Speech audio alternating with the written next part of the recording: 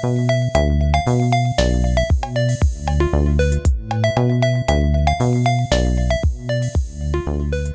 don't want to go into the into the detailed causes of it, but the uh, they haven't been remedied.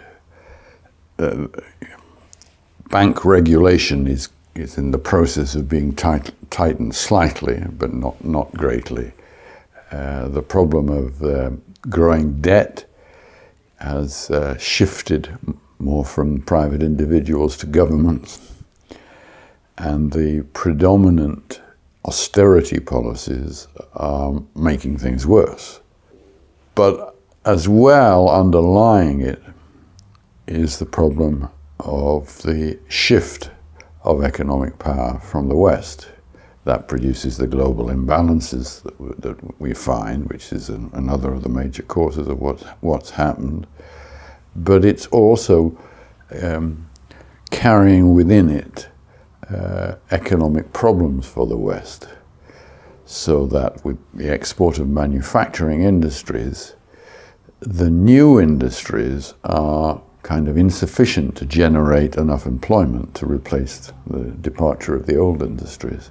Schumpeter uh, talked about capitalism being a process of creative destruction, continuously regenerated, where there's a destruction of old industries, the creation of new ones. Well, that's still going on, and we've had new industries, microelectronics and biotechnology, but they're not generating enough employment. They're capital intensive, not labor intensive. And so, underneath the recession, we, uh, the short term effects of the recession, there is also the problem of the, uh, of the widening of inequality and the possible creation of a, say, a two-thirds, one-third society where two-thirds of the population are reasonably well educated, they have proper jobs, uh, special skills and the like, but one-third is not. And the inequality between them uh, rises, and um, uh, since this is a not a period of social democracy, their plight becomes um, more, more serious. And so is the problem that unemployment might be continuously high, that the jobless recovery might not just be a product of this year, but of a, of a, a whole period. Now, the extent of this problem varies somewhat between different countries, but austerity, austerity programs don't help. Um,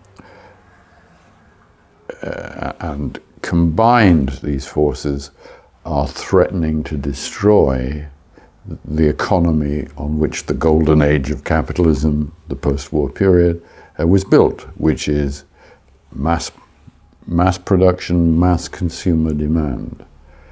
And if you don't have an employed population earning reasonable wages, you can't maintain the level of consumer demand, which is bad news for the privileged, for capitalists as well. And so uh, the problem is that so much political power is held by the financial faction, fraction of capital, and they're not interested in, in, in that, but they're perhaps uh, killing the goose that lays the golden egg. And so there are dangers here that they can be addressed, there can be policy changes, Europe has the problem of Germany, which is uh, inflation obsessed rather than uh, uh, rather than growth and employment obsessed.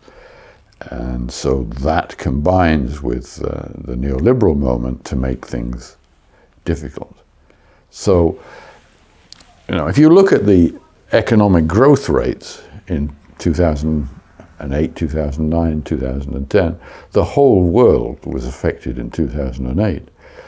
But in 2009 and 2010, some countries were back to their highest level of, uh, of economic growth. Of course, they're virtually all in what we used to call the developing countries. Uh, though I think Canada is the only, the only one which uh, is now uh, at its highest growth level. Uh, uh, but um, there's a, there's a dozen uh, countries in the south which are, have immediately recovered. So that there is clearly a shift of global power away from the West, though it'll take quite a bit of time.